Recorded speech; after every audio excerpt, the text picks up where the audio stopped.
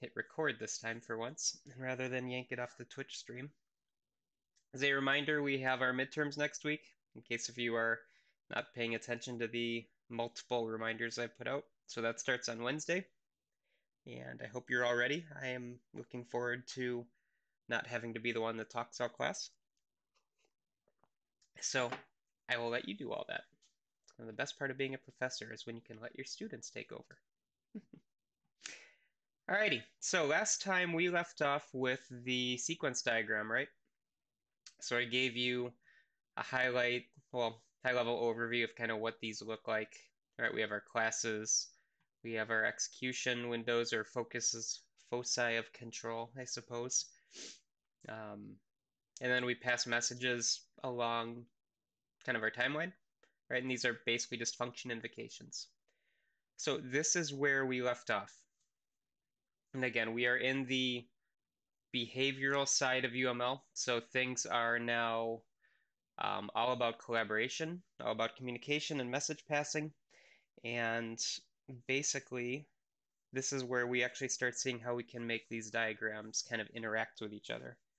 So um, I actually have some formal definitions here for you and I'll put these up for the class diagrams as well when I ask you to go ahead and make them. Sorry, I forgot to uh, um, my sleeves because I realize that I get inordinately warm whenever I teach and it becomes uncomfortable and uh, class gets very bad from my perspective. Um, so here we have basically the things that go into a class diagram. And again, it, it, would be similar, or sequence diagram, it'd be similar for a class diagram where we'd have particular symbols and relationships and what they all mean and all that fun stuff. So actors, same thing for use case diagrams, stick figure or a box that calls it an actor. Uh, here we have our classes, and this is where we can kind of merge together an object diagram and a class diagram if we want. All right, so here an object colon a class. So in this diagram, we actually see it's just a class basically, right? A class. Or it would be some actor, like the server here. Should be denoted actor, but uh, this particular figure didn't do that. Uh, and again, the dashed lines going vertically are your lifelines. This is where this object is alive over time. And if the object gets killed off or destroyed, you put an X at the bottom. All right, so that's would be the X here.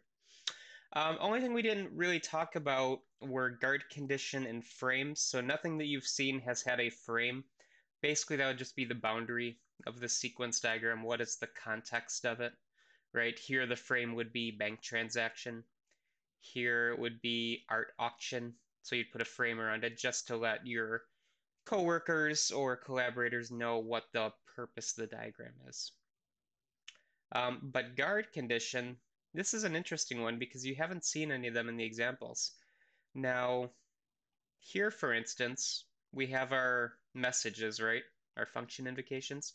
I could put a guard on here that says user has card or card is real or, you know, something that would guard that I'm not shoving like a handful of mud into the ATM or, or something unexpected basically this is your if statement saying this particular function can only be called if this particular guard is true. So does that make sense? Basically, you just want to make sure that whatever is going to enable this function to be called, basically you have a condition that it's a valid pathway.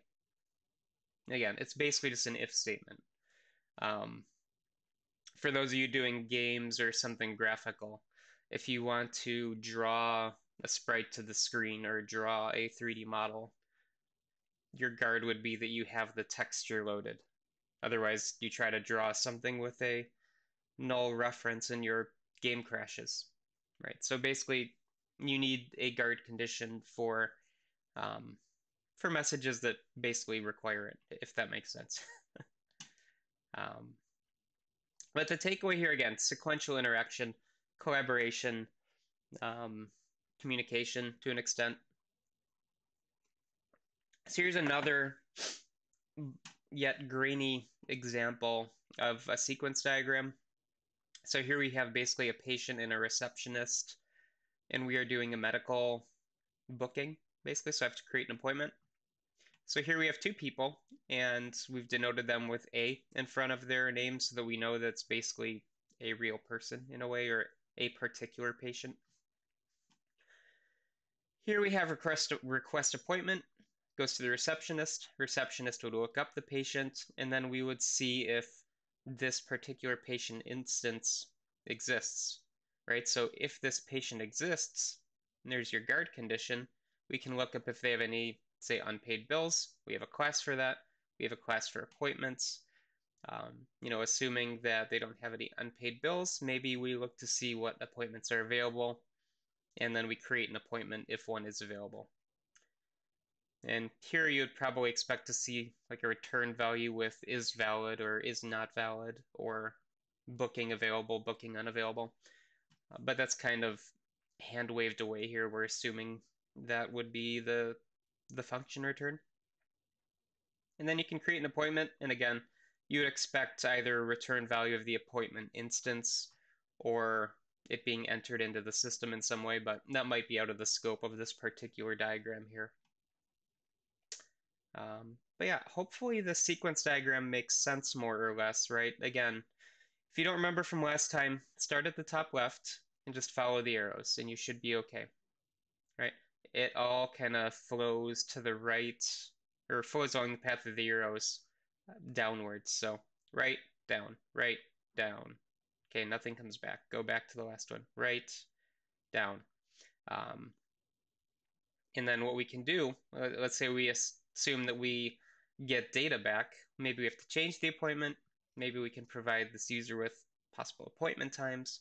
So we have arrows going this way. Again, that just means that we have a message being passed in this direction. It doesn't strictly have to be a function return going right to left. The only reason I mention that is all the examples have shown basically the solid arrows going right. They can go left too. Just depends who is talking to what or who's talking to whom. So that sequence diagram is kind of in a nutshell.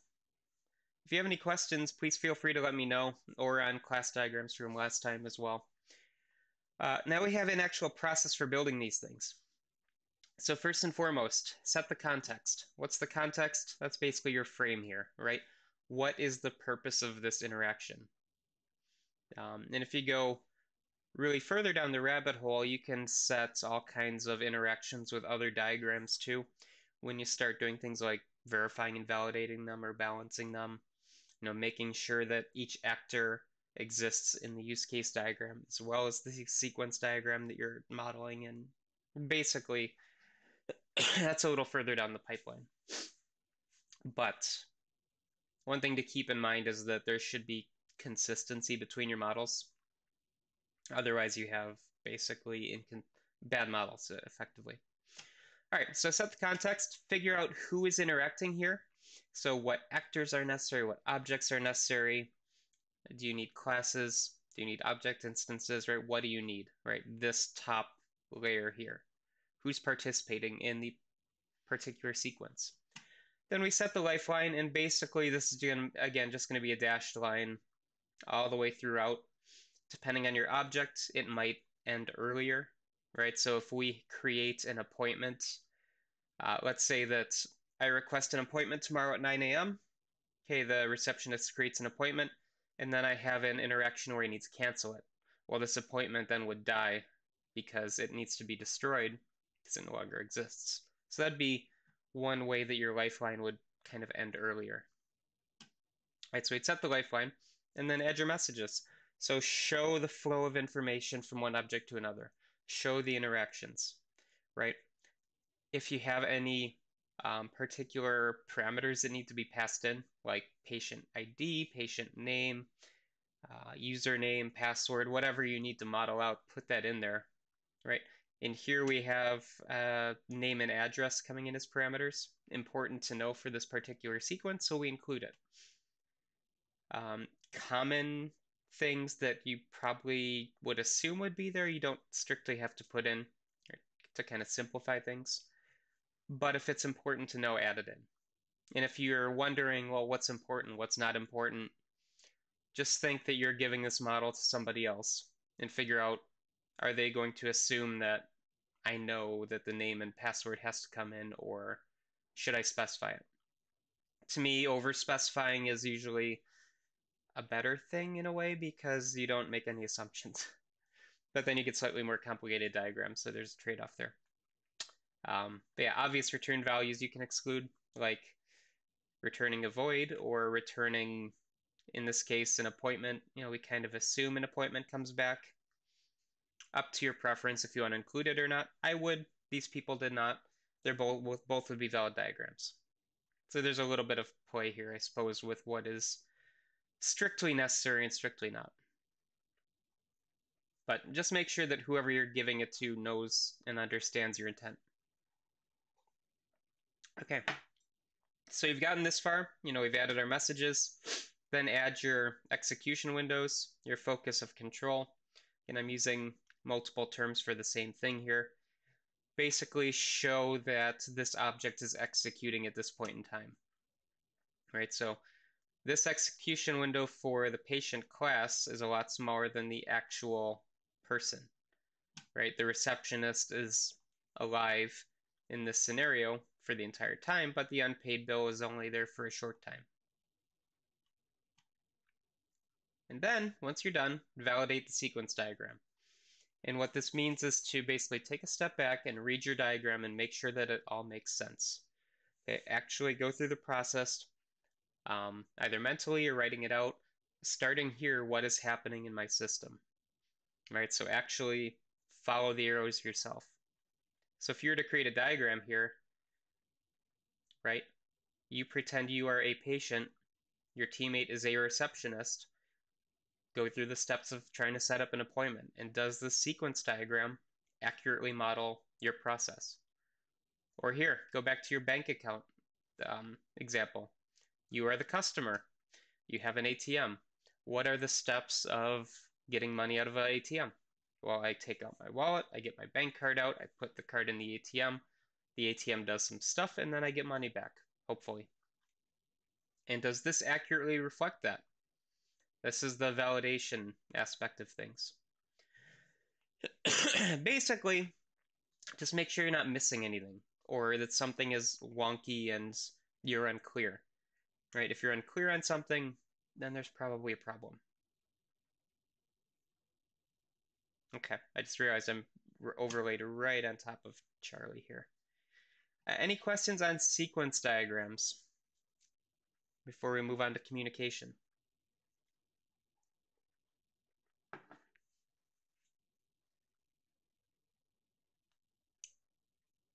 Guess we're gonna do communication diagrams and then we're gonna start talking about design patterns.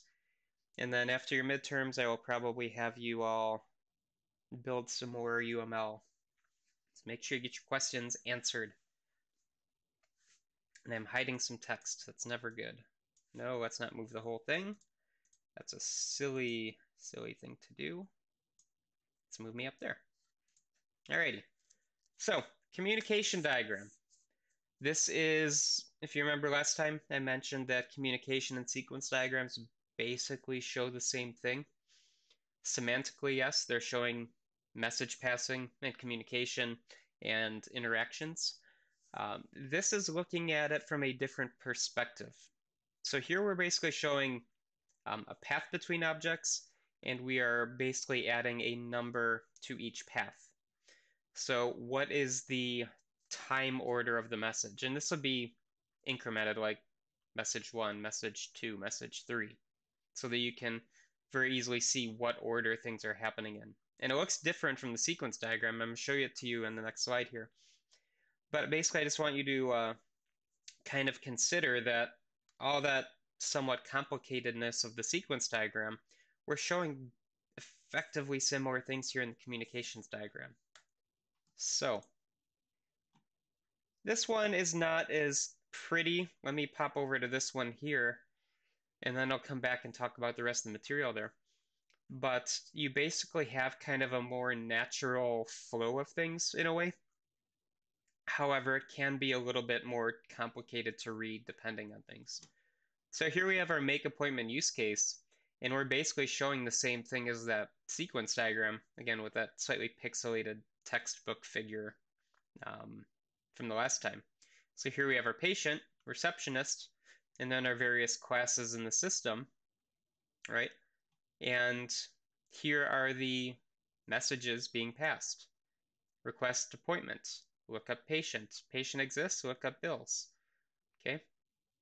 Do we have a new appointment, cancel appointment, change an appointment? What are the appointment times? Match appointments, create appointment. Right, so this is our medical appointment creation sequence diagram, just kind of distilled into a little bit of a cleaner view, I suppose. So we're seeing the same thing here, right? And this message ID that you see at the top here, that's your ordering. This is your time series. So request appointment, then look up patient. If we go back here, request appointment, look up patient. So they're in order, right? And it's ordered by this ID.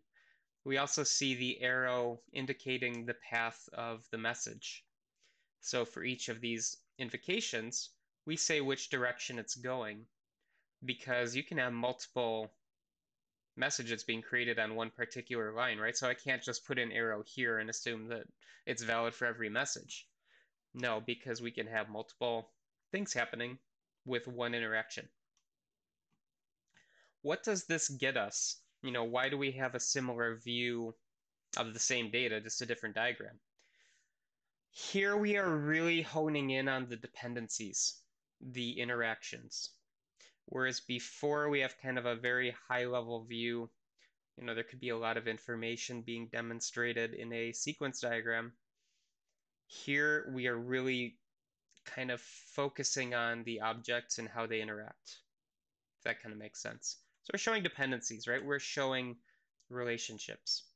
So here's a slightly different view with very blocky lines, but we get the same thing, right? So here we have a librarian, and we need to figure out things related to the, the library book checkout process. So the librarian talks to the user interface, um, basically trying to figure out information if somebody can borrow a book. So again, we see the arrows indicating the flow of data. We have a feedback loop here. So basically, if we have an invalid message, we're going to follow this until you know the librarian resolves the problem and then we can figure out hey can you check it out? Is it overdue? Do we create a fine for this person right? If, if the book's overdue you get charged a fine. And interestingly here we actually see return data for once which is kind of nice. So if your media is overdue you can create a fine in the system. So basically we're getting a fine shipped this way and we're getting the amount of the fine shipped this way. So that would go into the user interface. And since the context here only shows the librarian, right, there's no user, basically this would just get logged into the system and that's the end of it. But if you added a person, like a borrower, then you would also put the amount to them, and then there'd probably be methods for paying the fine and stuff like that, right? That's probably out of context for this one. So here, again, same data, just different view. And the point is that you can honestly create one from the other without losing any information. And that's kind of an important thing, right? If I wanted to create a use case or a class diagram from a use case diagram, um, you know, I can probably get everything that I need out of it, but there's a chance that I don't have all the information in one or the other to create a full set of um, representative models. Whereas here, I have all of the information I need, right? Method calls, parameters, guards, direction, return values, it's all semantically equivalent. So here's one more view of the communications diagram where basically everything is kind of spelled out. So if you are not following what I'm saying, um, it's all kind of arrowed over here but you have your they call it a lifeline. This is an actor. This is a class right? Uh, you can instantiate things too as an object name and class name just like in the other diagram. This calls it a lifeline name but basically it's your object name. Um, what else in here that's slightly different? It's basically the same thing. But if anybody's unclear on the distinction, please feel free to let me know in the chat. But to me, it should be pretty obvious what you know you have to do. If you understand sequence diagrams, communication diagrams are the same thing. Again, what do we care about here for building them? Context, important. What's the context of this? It's an online bookshop interaction. Okay, we're buying books, we're dealing with the shopping cart, makes sense. What's the context here? A person wants to make an appointment. One thing you might notice too, some of these frames reference a use case. This is basically a use case. So in our use case diagram, we probably have something called make appointment. We probably have something called um, query card or something like that, or get money. Or we have something called, I'm spacing on verbs, buy masterpiece, or something like that. So these sequence diagrams and communications diagrams typically are tied to use cases. So those use cases you created before, you could really create sequence or communication diagrams from them. And what are these classes? Well, these are your class diagrams, right? So what is a patient class? What is an unpaid bill class? Well, you have all your attributes and methods. And hopefully you can kind of see how this all gets tied together. Hopefully, anyway. All right, so the communications diagrams, how many more do we have? This is the last one here. Okay. So context, figure out who is interacting, what the associations are, lay out the diagram. This is an important one where it's very easy to let these diagrams get super complicated. Why am I right clicking so much? Sorry about that. It's very easy to let these diagrams get overcomplicated really quickly. Um, I don't know if any of you have ever done like circuit designs or circuit layouts where you have lines like overlapping like crazy. The point here is to keep things simple. Don't let lines overlap other lines. It gets really hard to read really quickly. Uh, you don't want any of those like little line jumps if you can avoid them. So laying things out usually applies to any diagram, but definitely here. All right, add your messages, validate the model. Again, make sure it makes sense, and life is good, hopefully. Okay, that is it for UML. Does anybody have any questions at all? Or does everything make sense? So we had basically three days of UML talking about these one, two, three, four, five types of diagrams. Hopefully it makes sense. And the goal here, again, really, it's not to create unnecessary work for all of you. Depending on your perspective, you could see UML as annoying, you could see it as extra work, and depending on your viewpoint, you might be right, you might be wrong. It just depends on the needs of your particular situation. But you can take care of so many logical errors and so many easy to fix problems if you just lay out a few simple models. And again, I know that a lot of you are starting to get really deep into your implementations for your term projects, right? Because you're a lot of you are probably working on your demos for next week and all that fun stuff. But if you encounter something that is like a really tricky problem to solve, there's a good chance you could have caught it at the model level. And I'm not saying that you should have done modeling, right? I didn't tell you to do that. This is more for like future knowledge, I suppose. So let's talk now about how we can apply commonly used patterns to our programming and to our models, right? So this is a software engineering class. We are basically looking at things from a process perspective, from a model perspective. Design patterns are basically things that you can apply to, or really any level of your software. We're going to talk about it in terms of the model level, but basically these have direct code implementations. Um, and I should probably start stop introducing it since I have slides talking about this here momentarily. Well, I guess I should probably set the context because it is important. But these are things which you should be aware of, right? Those of you going into more object-oriented languages like Java, Python, C++, stuff like that, these are going to be honestly lifesavers if you can understand them and figure them out. They will save you so much time is if you put in like a little bit of extra work up front and it's not just code effort, it's mental effort because some of these you have to wrap your head around to understand what are they talking about. But once you figure them out, it's really helpful. And one of the things that we'll also look at is anti-patterns as well. So anti-patterns are basically things that you should not do ever, right? This is a bad programming practice.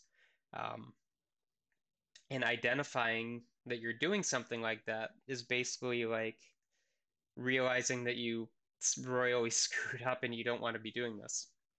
Now, the thing with like anti-patterns, I don't want to, you know, make you all horrified that you're all terrible programmers or anything like that, but your code probably will still work, right? Let's say you implement, there's one called the God class where everything is one massive class.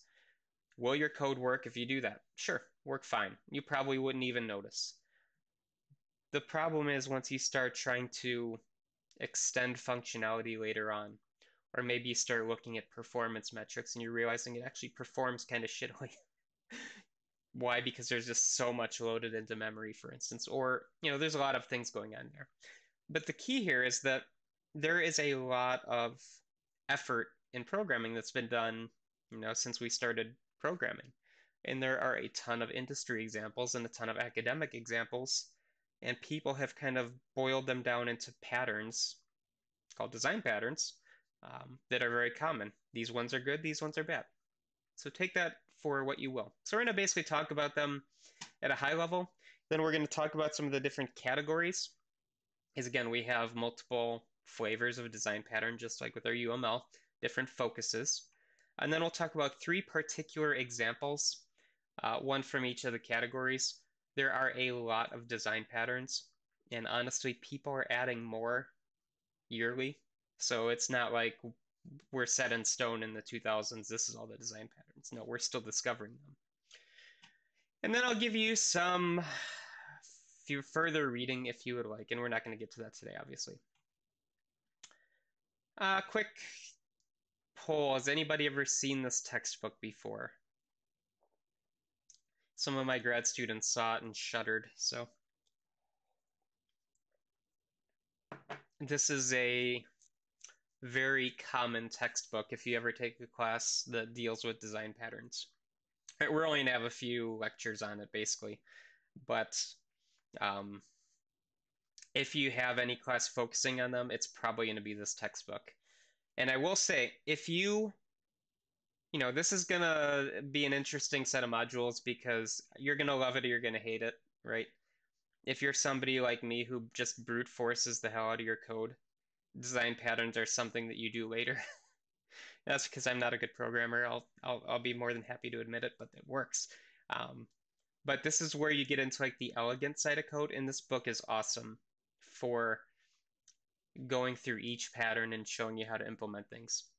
I actually gave a, a PhD student this textbook to read for one of his qualifying exams, basically, because he needed to learn about design patterns for his PhD work. So read this textbook, answer these questions, and you'll be good. So it's definitely a good book if you're interested. I'm not saying you should go out and buy it, but um, it's definitely a, a key if you like hard copy. So what is a design pattern then? So it is something that basically abstracts out a common set of uh, tasks that you would have to do, or it kind of abstracts out a particular activity. And it gives you basically a particular model pattern that you then implement. All right, so let me maybe give you an example here that helps. I have a website right? I'm, I'm sure all of you probably have made websites at this point, or at least have seen HTML code if you've never written a website. Well, you make a very simple website. It's just going to be straight up HTML. Maybe you're going to get frisky and add some CSS in there to make it pretty. You're going to go even more frisky and you're going to add some JavaScript in there to make things happen while the page is loaded and life is good, right? Okay, you start working and your websites become data-driven web applications where now it's not just like a GeoCities website with a little under construction spinning GIF kind of thing. It is you're pulling out of a database, you're rendering different pages, right? We are building a storefront or a customer experience or whatever it is, okay? That's fine. And if you just code it like you would have a straight up HTML page, it's going to be very, very hard to maintain. And why do I say that? Well, if you have to make every single page, they're basically all doing the same thing, right? Just with different calls to the backend database, right? Show product inventory or show prices or buy object or, or, or, right? So we basically have all these different pages that you have to render out to create. They're still pulling from this database. There is some backend that handles all the code. And kind of what I'm getting towards is if any of you have ever heard of the model view controller kind of architecture, that's pretty similar to a design pattern. And what you do is you take web development, you make it very complicated. And when I say complicated, usually you have a framework that handles this where you have a view. So basically there's all these little scripts that are view scripts where it's basically how does this particular widget get rendered, right? This is the body, this is the sidebar, this is the footer, maybe this is the home page. And instead of having index.html, um, your index.html is a bunch of these little view models, view modules. And then your model is how the data is uh, represented internally in your program. And then your controller could be how you're routing people from page to page in the website. And I'm kind of describing this to make it sound complicated because it is, but the cost benefit to doing this actually makes it easier in the long run. Okay, I need to change how all of the data is represented in the database because we're going from MySQL to MongoDB or something. Well, I just changed the model. I don't have to fix every single web page now. See, if you're if any of this doesn't sound familiar, there are like PHP frameworks out there like CodeIgniter or Cake PHP. These are older ones now but basically they are whole environments that you apply this thing to. This could be an example of a design pattern. Where is it a design pattern? I don't think I actually have a picture of it in the slide, so let me do a quick image search because I wasn't expecting to talk about it, but it's a good example. Um, don't search for models in Google Images with Safe Search off, by the way. Bad idea. Um, almost did that the other day. Do, do, do, do, do. All right, so open image new tab. Oh, yes, thank you. Uh, no, no, come back. There we go. All right, so model view controller.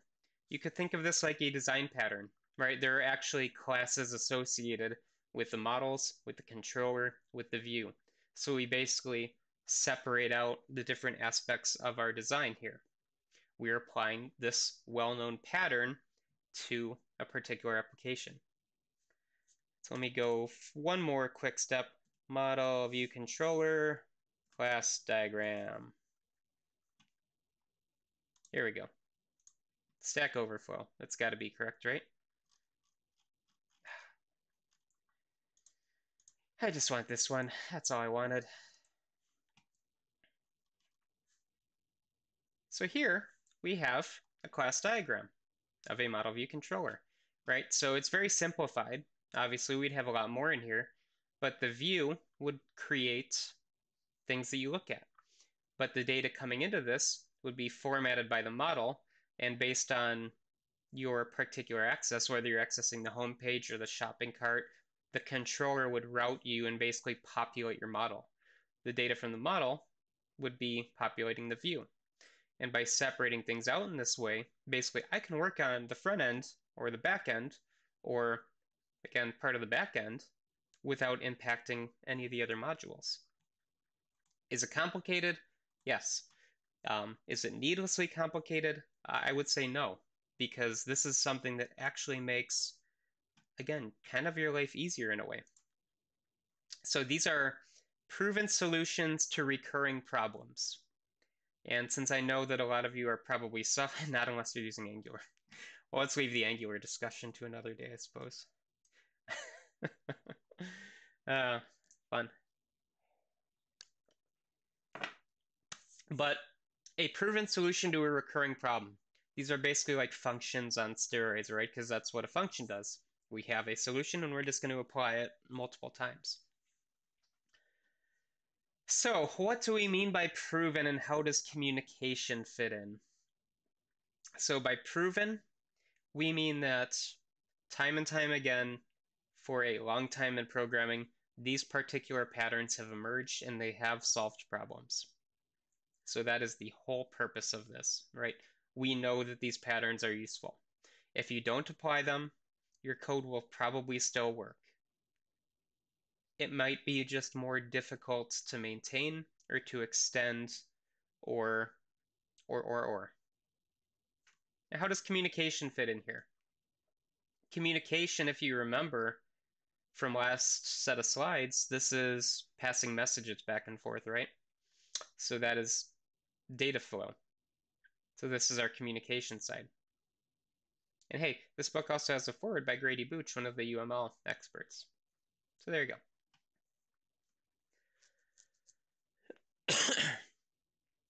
There's another aspect to communication too, and that's team communication. So communication can be our methods and our models, right? Communication can also be at the team level, and that's where I was kind of trying to get the point across that UML is not just for building code bases, it's also for team communication to simplify ideas, right? To convey information to your teammates and your project managers and your your business partners and all that. Same idea here. If I'm going to apply the MVC design pattern, or the observer, or the singleton, or the visitor, facade, or any of them that are out there, I can tell one of you, we're doing facade for this, and you should know what that means, right? This is a common terminology that you would use if you're an object-oriented developer. You can implement this in something procedural like C as well, where we don't have classes. Um, you just have to do some pointer magic, basically. So again, same principle applies for these design patterns. They do really well with Java, C Sharp, Python. They will work in C. It's just extra effort if you want to do it. And if you want to learn C, get comfortable with function pointers. Because this is all going to be function pointers. Okie dokie. So last point, and I mentioned this already, improve modifiability and maintainability of code. Right? It's very easy to write a spaghetti mess of code that, again, it works. You have your software release, life is great, and then the client finds a problem in the field oh crap, we have an issue with our encryption algorithm for our mobile app, right? We're leaking customer data to the web. Okay, well, how do we fix this? Um, well, if we want to encrypt all the data, I now I need to insert a bunch of encrypt and decrypt function calls through a million lines of code. That's going to be a massive, massive pain to A, fix, and B, test. If I've applied a particular pattern that abstracts out data flow. Instead of several thousand lines of code that have to be fixed, I just have to do one module. Right, so think of applying, the whole point of this is that you are applying a not complicated, but a complex concept. You are overlaying it onto your existing application, and you're going to reap the benefits of doing that. You're saving yourself time later on and it doesn't have to be hard at the outset, right? I'm not trying to make this sound like a horrible effort, but it requires a little more abstract thinking, just to keep in mind. So what do we care about here? Why are we studying them and what are they basically made up of? Right, so we're going to be looking at some of these nifty object-oriented design strategies that are out there um, that you don't necessarily talk about if you come out of the procedural world like C or Pascal or any of those like common first year languages that you used to get, right? You're all getting Java, so you know object oriented, hopefully. Um, but here we're going to do things like we're going to use encapsulation, right? We're going to have classes kind of subsume other classes. We may do some information hiding where you have that protected or private designator, like not everything's public. Um, by doing information hiding, we can force access through things like interfaces or things like subclasses. You know, we might be doing composition of classes instead of just inheriting data from elsewhere. Basically, you're going to leverage some of these object-oriented tricks that we know, and we're going to design them to be some kind of a pattern. That's kind of the whole point here. So, should make sense. And again, you all should have had intro to Java, right? So, at the very least, you should be aware of object-oriented programming, because that's what you did. But now we're going to bump it up a level here. Good tea. Getting sick of coffee. All right, so let me pop all these guys in here. Um, so design patterns, this is basically, I'm going to be talking about a dictionary of techniques effectively. And when we do something like that, we need to have kind of an understanding of what the particular descriptors are for this pattern. So what do we care about here? Uh, we care about the intent, right? So I guess maybe I should animate this in, otherwise it's too much text on the screen. What is the problem that we're dealing with? Is it going to be access rights or information hiding? Maybe we need to be able to swap out algorithms on the fly behind the scenes. Common example would be you have to sort something, right? And you all probably, hopefully, know that there are a million types of sorting for an array, right? Do your bubble sort or your radix sort or your quick sort, whatever your favorite sorting algorithm is. They have different benefits, right? Well, one example of a design pattern would be to just call application.sort. And you could pick bubble sort, radix sort, quick sort on the fly based on other things. Does the person talking to the front end know this? No, they just know that sorting is happening. But behind the scenes, the design pattern has picked the algorithm for that particular point in time. So we can kind of get around this by basically, you know, you would use a function pointer in C to swap out which function we're looking at. Or here, we might just pick a different subclass. So what's the problem that we care about, right? There's tons of problems in programming which pattern applies to this. Uh, then we're going to describe the structure of the pattern. So what is the UML class diagram of this pattern, right? What are the classes necessary? What are the relationships, the associations, attributes, methods, what's protected, what's private, what's public. Basically, everything we just talked about will describe the design pattern. We also need to know who's participating. So which classes are interacting with this pattern, what is their responsibility, and what are their interactions with other classes. So basically, who is going to be in this particular pattern? How do they collaborate? Again, what messages are being passed? And we also probably get to talk about the consequences of this pattern. What are the trade-offs? What are the results? Why would you use this pattern? Right?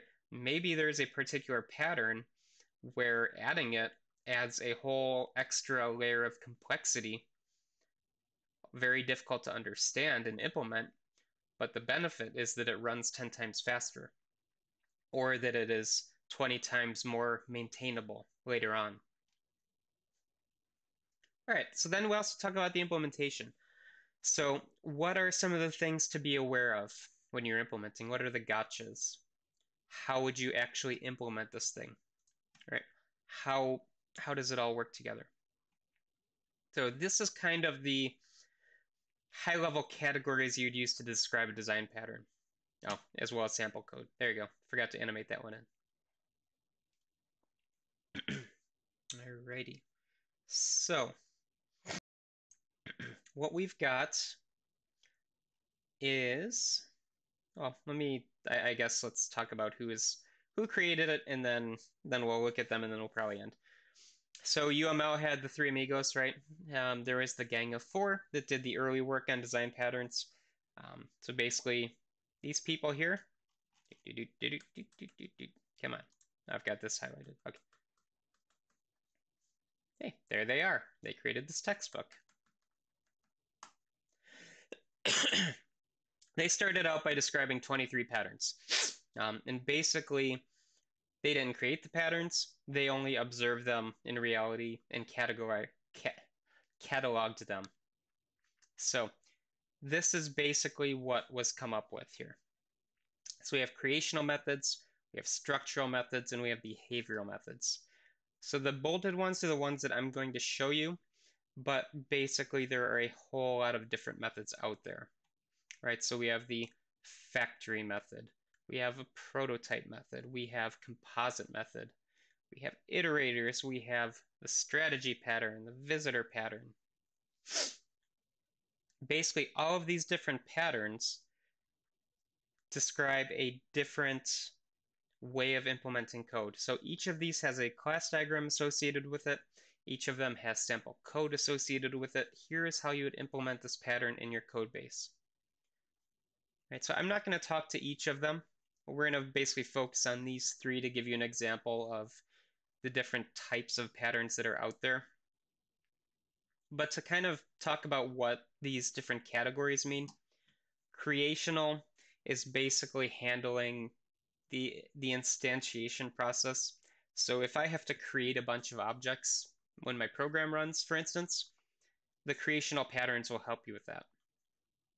So what are the intricacies of instantiating a bunch of classes in your system? Creational helps there, right? So singleton would be one of these where we are only ever creating a single instance of one class, and you're not allowed to ever create any more. So that'd be a creational.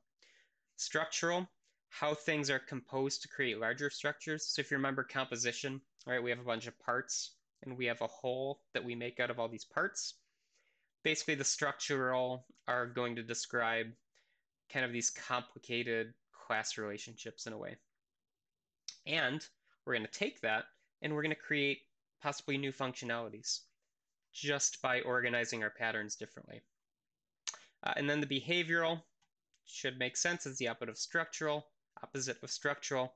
We're going to talk about interactions, flow of data, um, algorithms, cooperation. So basically what you know from your structural and your behavioral diagrams, structural and behavioral patterns act pretty similarly, where the focus is either how you create things or structure them or how they interact. All right, so what we'll do next time is we'll talk about singleton and all the other ones. Um, I think if there's anything else. I don't think so. So yeah, next time we'll, we'll talk about these patterns. We'll do some class work. And yeah, that's about it. Anybody have any questions for today?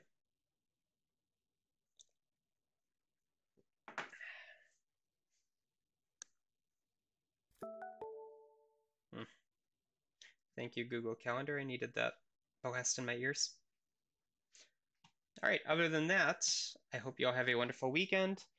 Um, enjoy the rain. Looks like we're going to have it for a while. I will see you all on Monday. Goodbye, everybody. How are the kiddos? The kiddos are delightful. I think. Yeah, they're they're delightful. Bye. Bye, everybody. It's funny you ask that because in my grad class Wednesday night, one of them just started screaming bloody murder. You're going to watch Borat 2? I probably will. It released today, right? I saw there's already a mega thread on Reddit about it. Should be uh should be delightful.